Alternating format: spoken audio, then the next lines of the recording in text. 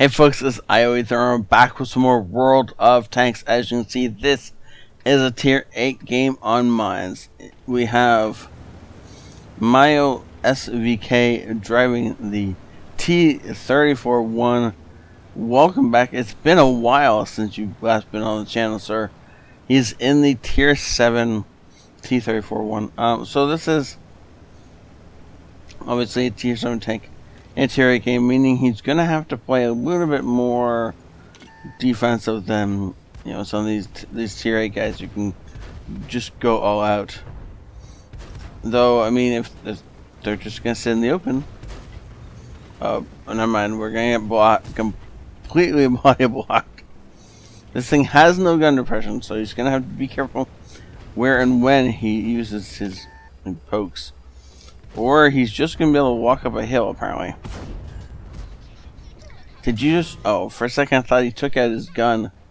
And, uh, and the enemy wouldn't be able to fire. No. Go for the ram kill. Oh.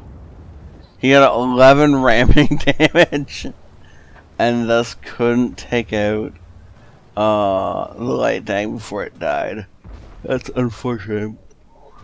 That's the kind of thing you'd like to do, but not always can do. Nice job using the bush mechanics to fire through the bushes, meaning that the enemy doesn't know he's here. I thought for a sec he was going to get spotted there. I, I, thought he pushed too far forward before he fired, but I don't think so.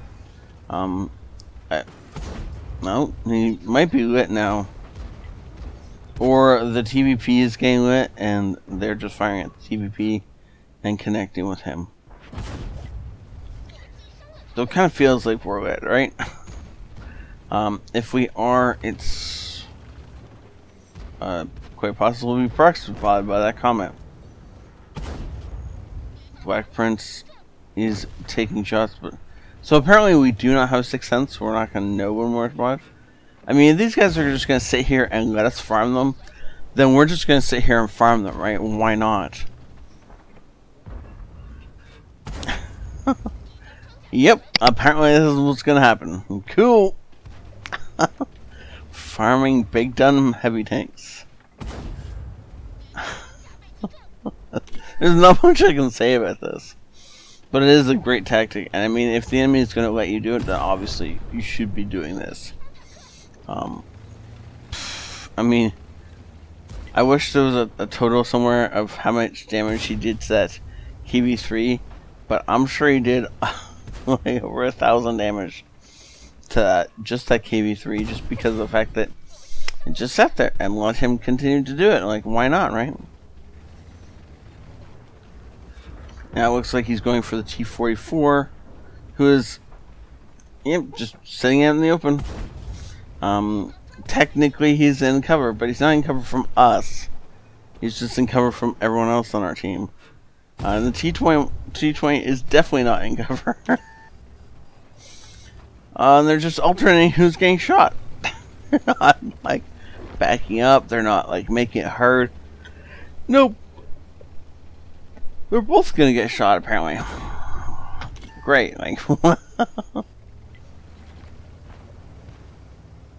Um, we can take out the T71 next, uh, which is probably a, great idea. I don't know if, what, um,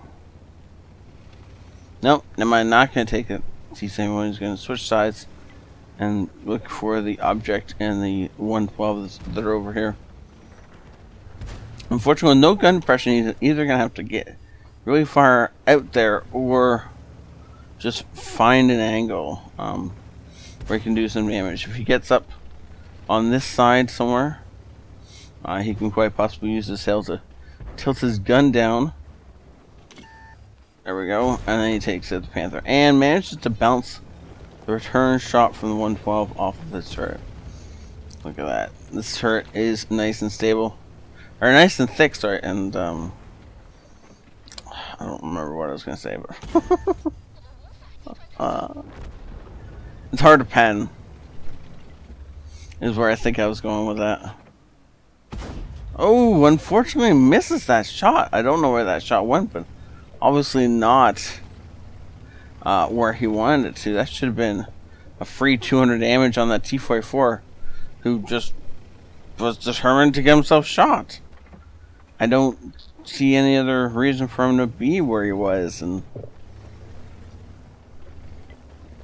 you know, charging somebody in a defensive position is just dumb.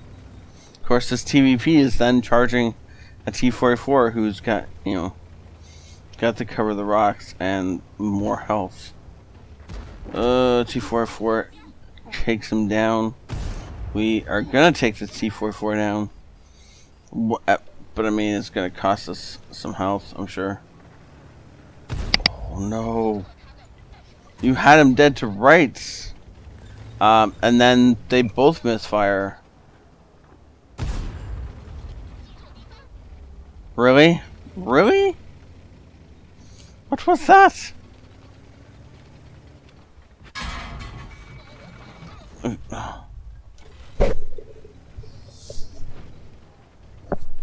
You had him! You overran him with your... That he was circling him, and um, he just kept going too fast, and his, turret couldn't rotate that fast. And thus he lost track of the T-44 and missed.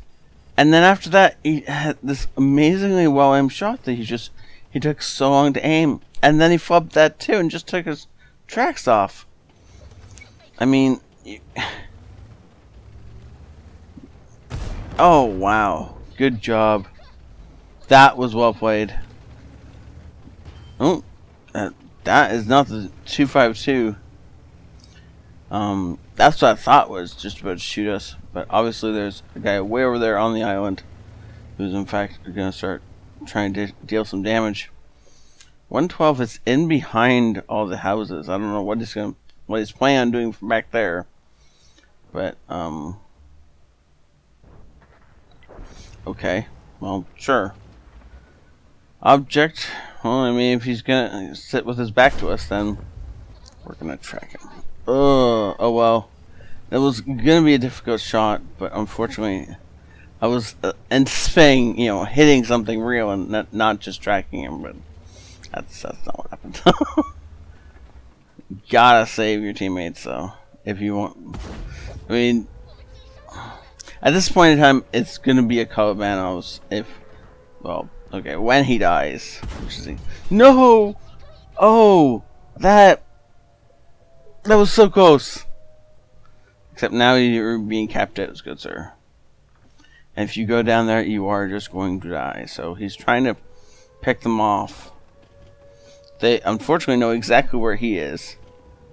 Um, you need to be worrying about the cap. Because that guy is in the open. And a couple good shells, and he's to go down. And he's clearly looking in the wrong way. Did you flub that shell underneath him? You know, we haven't seen enemy artillery in a while, but if you keep seeing the same spots, there it's gonna find you. Ah, I'm glad he's over here.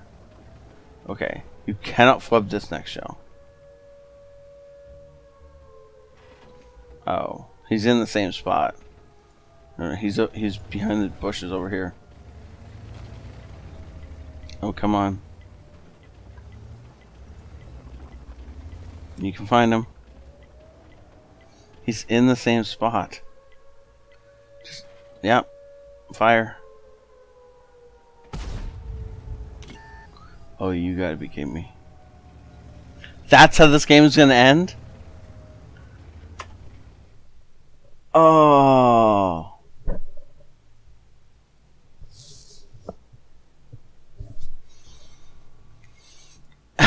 so what? The 112 had.